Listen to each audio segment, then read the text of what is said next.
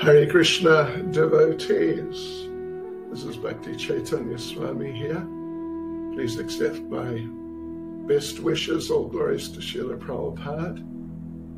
So I've been informed that our ISKCON Bhagavat Mahavidyalaya is organizing a, uh, a big Srimad Bhagavatam reading marathon and that just sounds wonderful, absolutely wonderful.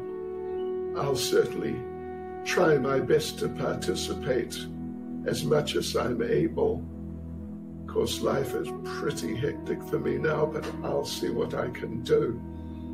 But uh, as much as possible, devotees, please do participate.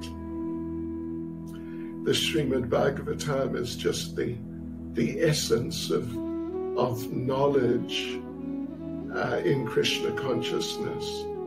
It's directly the form of the Supreme Personality of Godhead in his literary form. And the more we can absorb ourselves, the more we can hear Srimad Bhagavatam, the more we can associate with the Lord in his form as Srimad Bhagavatam the better it is for us.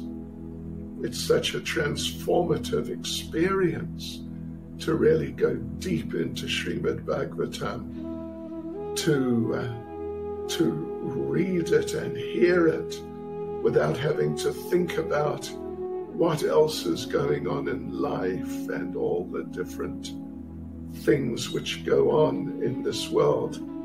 If we can just forget about all of that just let it go away and just drink the nectar of Srimad Bhagavatam. Oh my gosh, it's just the most wonderful thing. Truly, most wonderful thing. So please do get into it, make the most of it. And by the time you finish it, if you get into it and follow the whole thing, by the time you finish, you'll be a transformed person transformed for the better. Hare Krishna, Srimad Bhagavatam Ki Jai, Srila Prabhupada Ki Jai.